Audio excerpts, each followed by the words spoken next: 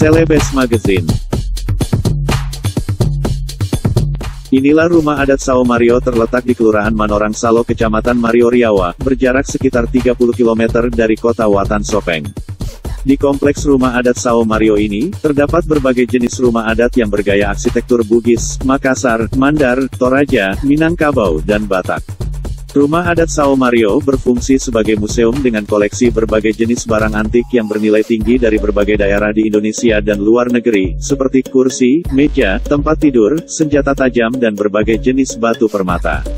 Jika Anda ke Kabupaten Sopeng, tak ada salahnya mengunjungi wisata budaya di kota Sopeng.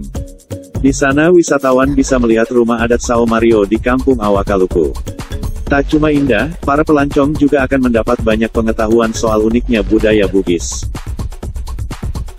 Berikut adalah gambaran mengenai sejumlah daya tarik dan informasi penting lainnya. Rumah adat Sao Mario juga dikenal dengan sebutan rumah 100 tiang atau bola siratu, dalam bahasa Bugis.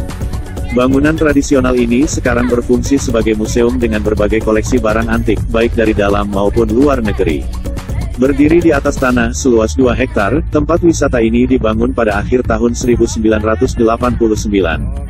Pendirinya adalah Profesor Andi Mustari, dikenal juga sebagai salah satu orang Bugis yang sukses di tanah rantau. Rumah adat Sao Mario terletak di Kelurahan Manorang Salo, Kecamatan Mario Riawa, Kabupaten Sopeng. Berjarak sekitar 30 km dari pusat kota dan berdekatan dengan objek wisata pemandian air panas Leja. Pengunjung harus membayar tiket masuk sebesar Rp5.000 untuk weekday. Sementara untuk kunjungan akhir pekan, harganya naik dua. Oh, ini kan dari Makassar. Jauh di sana. Ini ini yang orang sini ya. Iya, a- anu, si- siapa yang bisa, anu? Yang bisa jelaskan sejarahnya ini. Ya, jelaskan sejarahnya. Eh. Yang duta wisata kemarin siapa? Nggak ada Badil. ketemu. Eh, Badil, Badil. Enggak, bukan sejarahnya tingkat kepesan pengunjung dicari. Iya, iya, ada- Ini Pak, ini. saya berkunjung ya. Ini. Iya, ke kantor tungmu. Nah, Aduh, eh, sini ki ya. Lah, ya. Eh, Tingkat kepesan pengunjung bagaimana saat di sini? Bagaimana eh apa? Ke sini mau masuk semua dulu ya. Oh, tanya-tanya aja sedikit. Saya tanya Ji, teman teman nih. eh, anu, eh, bagaimana kanunya di sini sampai apa? Eh, maksudnya kita dari mahasiswa mana ki? WNM. KKN. Ya, KKN di sini. Oh, jadi ini ada Sudah tiga bulan. Hari ini terakhir kita jalan-jalan baru besok sudah kembali ke rumah masing-masing. dari fakultas mana? Kalau saya Fakultas Seni, Seni dan Desain, Ya. Namanya siapa? Arham. Adat ya. Sao Mario tidak hanya bisa melihat bangunan khas suku Bugis, tapi juga berbagai jenis rumah adat khas suku lainnya di Indonesia. Baru Selain rumah adat Toraja, ada juga bangunan tradisional ala Minangkabau, Mandar, dan Batak. Fungsi rumah adat Sao Mario Ada beberapa fungsi dari rumah adat Sao Mario, yaitu, secara umum sebagai museum dengan koleksi berbagai jenis barang antik yang bernilai tinggi dari berbagai daerah di Indonesia dan luar negeri seperti kursi, meja, tempat tidur, senjata tajam, tulang manusia, dan berbagai macam batu permata. Sebagai tempat acara rakyat, contoh, rumah adat Sao Mario kerap digunakan untuk pesta hari ulang tahun Sopeng, digunakan untuk acara pernikahan sebagai tempat tinggal bagi pemilik dan beberapa orang lainnya. Tempat para raja-raja terdahulu atau pemimpin terdahulu melakukan rapat. lain lain ki dia. Oh ya, oke, makasih banyak. Ya. Sao Mario. Ada beberapa fungsi dari rumah adat Sao Mario, yaitu, secara umum sebagai museum dengan koleksi berbagai jenis barang antik yang bernilai tinggi dari berbagai Oh, daerah di Indonesia dan luar negeri seperti kursi, meja, tempat tidur, senjata tajam, tulang manusia, dan berbagai macam batu permata. Sebagai tempat acara rakyat, contoh, rumah adat Sao Mario pernah digunakan untuk pesta ulang tahun Sopeng, digunakan untuk acara pernikahan sebagai tempat tinggal bagi pemilik dan beberapa orang lainnya. Tempat para raja-raja terdahulu atau pemimpin terdahulu melakukan rapat struktur rumah adat Sao Mario, sistem struktur dan konstruksi rumah terdiri atas lima komponen, 1. Rangka utama, tiang dan balok induk, 2. Konstruksi lantai, 3. Konstruksi dinding, 4. Konstruksi atap, dan 5. Konstruksi tangga. Se- Semuanya dibuat dengan sistem lepas pasang, knockdown, tiang, balok, Oke, mantap. Tiang, balok induk, dan tangga dibuat dari kayu kelas 1, sedang komponen konstruksi lainnya dibuat dari kayu kelas 2. Rumah adat ini terbuat dari kayu hitam, dan mempunyai 100 tiang penyangga. Di dalam rumah tersimpan pusaka peninggalan Raja-Raja Sopeng dulu. Rumah adat Sao Mario sendiri dikenal dengan sebutan nama rumah 100 tiang atau bola seratue karena inilah ciri khas rumah adat Bugis seperti pada umumnya dengan tiang-tiang penyaga di bagian dasar bangunannya. Kompleks rumah adat ini juga dilengkapi rumah makan berbentuk perahu pinisi. Memiliki lima tangga terdiri dari satu tangga utama, dan dua tangga samping di kiri dan kanan rumah.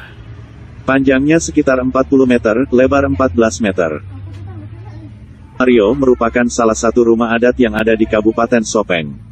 Rumah adat ini berjarak sekitar 30 km dari kota Watan Sopeng. Rumah adat ini dibangun pada tahun 1993 oleh seorang arsitek bernama Ir Deers. Bahriani Araufmana, pemilik dari rumah adat Sao Mario ini yaitu Prof. Dr. Haji Andi Mustaripide, Asia, Datuk Rajo Nansati, dan Haja, Andi Siti Runiang. Rumah adat Sao Mario sendiri dikenal dengan sebutan nama rumah 100 tiang atau bola seratue karena inilah ciri khas rumah adat Bugis seperti pada umumnya dengan tiang-tiang penyaga di bagian dasar bangunannya. Rumah adat Sao Mario menyimpan beragam barang antik, mulai dari kursi, meja, tempat tidur, peralatan perang, dan berbagai jenis batu permata berharga.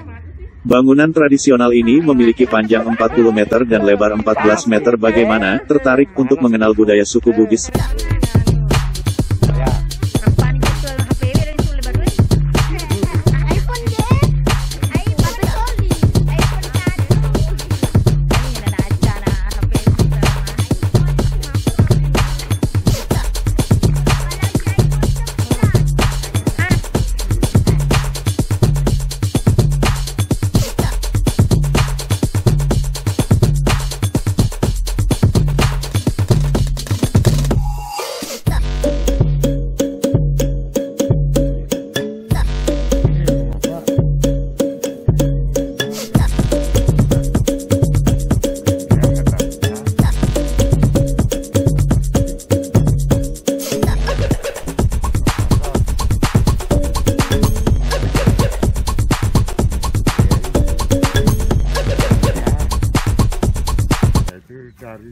Lontar Ini tiang dari pohon lontar. yang atapnya hijau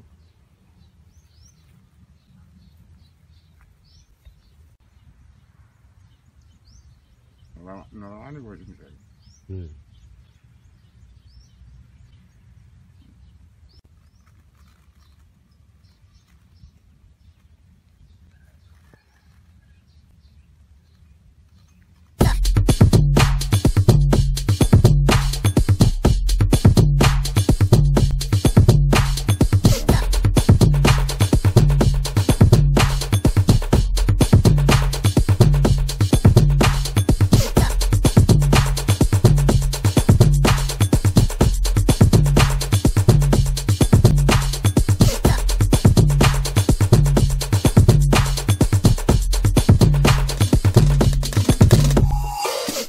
Demikian laporan dari Asnani, Biro Kabupaten Sopeng.